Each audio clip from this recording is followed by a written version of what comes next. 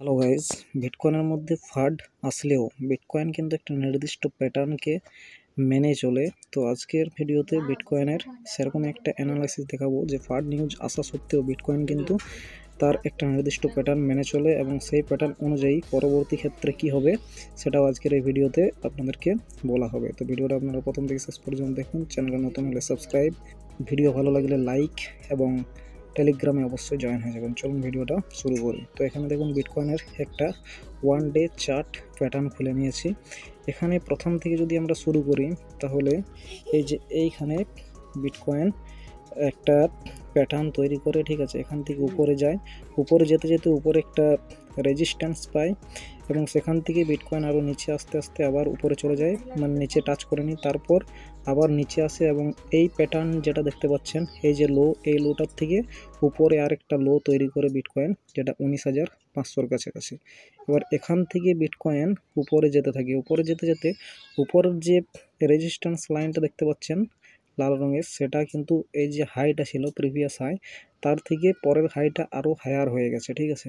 এবং এখান থেকে বিটকয়েন কিন্তু আর এই যে নিচের যে লেভেলটা দেখতে পাচ্ছেন, এখানে কিন্তু আসেনি। এখান থেকে পুরো এই রকমভাবে আরও একটা মানে প্যাটার্ন এটার ভিতরেই আরেকটা প্যাটার্ন তৈরি করে দিয়েছি। এবং এই প্যাটার্নটার নাম হচ্ছে ফলিং ওয়েজ প্যাটার্ন ঠিক আছে? এবং এই প্যাটার্নটা মোটামুটি যদি আমরা দেখতে যাই এটা এপ্রিল মাস থেকে শুরু হয়েছে। আর এখন জুন চলছে মোটামুটি তিন মাসের মতো। এই যে প্যাটার্নটা এই প্যাটার্নটার মধ্যে বিটকয়েন কিন্তু ফেসে আসে দেখুন, এখান থেকে উপরে গিয়েছিল, এখান থেকে আবার নিচে তারপর আবার উপরে এরকমভাবে এই প্যাটার্নটার মধ্যে চলছে। তো এখানে আমাদের যে এই প্যাটার্নটা যে ফলিং ওয়েজ প্যাটার্নটা ব্লু রঙের যে নিচের লাইনটা দেখতে পাচ্ছেন, এখানে কিন্তু সাপোর্টের কাজ করছে, ঠিক আছে?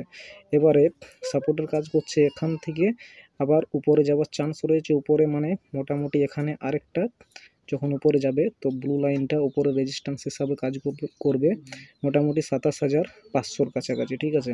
এটাকে উপরে যা, যেতে হবে, এটার মানে যে প্যাটার্ন সেই অনুযায়ী, যেহেতু এবার সাপোর্টের কাছে ছিল, এবার এটাকে উপরে যাওয়া দরকার ফলিং ওয়েজ প্যাটার্ন অনুযায়ী। সাতাশ হাজার ছশো বা পাঁচশোর কাছাকাছি এখানে একটা রেজিস্ট্যান্স রয়েছে। এবার এই রেজিস্ট্যান্সটাকে যদি এটা ব্রেক করে যে এখানটা তো এখান থেকে উপরে যাবে, ঠিক আছে? উপরে যেতে যেতে এটা মোটামুটি কত দূর পর্যন্ত যেতে পারে যদি আমরা এই উপরের মেজর যে প্যাটার্নটা দেখতে পাচ্ছেন, এটাকে যদি আমরা ধরি তাহলে এটা মোটামুটি এই জায়গাতে যাবে। এই জায়গা মানে হচ্ছে মোটামুটি ছত্রিশ হাজার ডলারের কাছাকাছি পরবর্তী সময়ে, ঠিক আছে? কিন্তু তারপরেও এখানে আরেকটা প্যাটার্ন যদি আমরা দেখতে চাই একটা মাইনর প্যাটার্ন এখানে তৈরি হয়েছে এখান থেকে যদি আমরা টানি তাহলে দেখতে পাবেন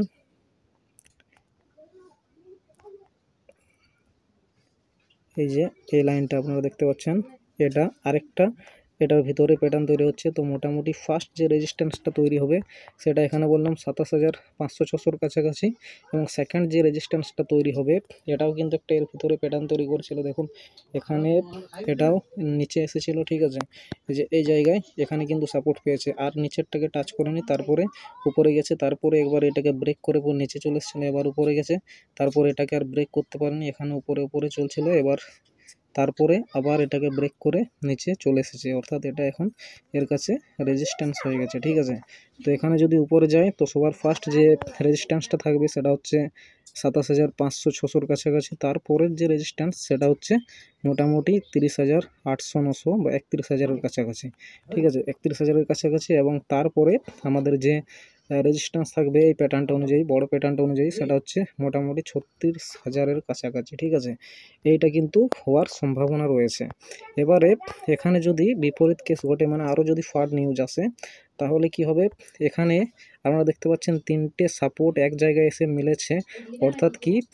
অর্থাৎ হচ্ছে না, এই যে এই সাপোর্টটা এটা কিন্তু একটা বিরাট বড় ভাইটাল সাপোর্ট ঠিক আছে? এখানে সাপোর্ট মোটামুটি পঁচিশ হাজার থেকে এখানে দেখতে পাচ্ছেন এই যে ব্লু লাইনটা এটা মোটামুটি পঁচিশ হাজার পঁচিশ হাজার দুশোর কাছাকাছি রয়েছে এবং তারপরে যে নিচের লাল লাইনটা দেখতে পাচ্ছেন এটা মোটামুটি চব্বিশ হাজার। পাঁচশো, সাতশোর কাছাকাছি রয়েছে। ঠিক আছে, চব্বিশ হাজার সাতশো। তো এই যতক্ষণ না পর্যন্ত আমাদের ডেইলি ক্যান্ডেল চব্বিশ হাজার ছশো বা সাতশোর নিচে ক্লোজ হচ্ছে সরি চব্বিশ হাজার এখানে পাঁচশো ধরতে পারি। চব্বিশ হাজার পাঁচশোর নিচে যতক্ষণ না ক্লোজ হচ্ছে, ততক্ষণ আমরা ধরতে পারি যে এটা কিন্তু এই প্যাটার্নটার মধ্যেই রয়েছে এবং এই প্যাটার্নটার মধ্যে থাকলে পরবর্তী সময় উপরে যাওয়ার সম্ভাবনা আছে, ঠিক আছে?